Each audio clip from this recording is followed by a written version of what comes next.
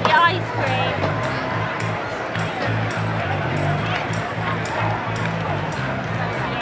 Could you put some sun on the back of Harley's neck? Back really? of his head. Right, so